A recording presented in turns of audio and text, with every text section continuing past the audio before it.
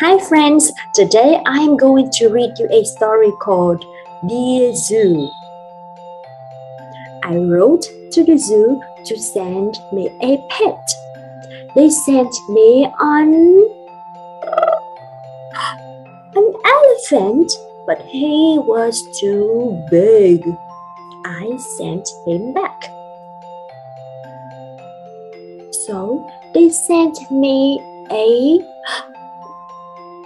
a giraffe, but he was too tall.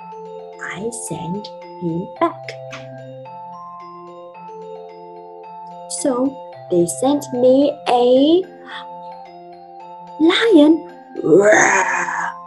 He was too fierce. I sent him back.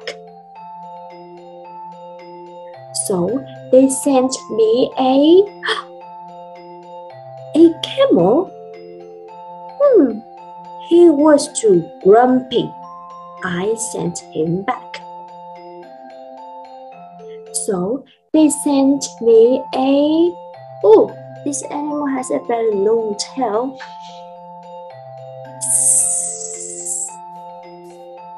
A snake. It was too scary. I sent him back. So they sent me a ah ah a monkey. He was too naughty. I sent him back. So they sent me a hmm ribbit, ribbit, ribbit, a frog. He was too jumping. I sent him back. Hmm. So they thought very hard and sent me a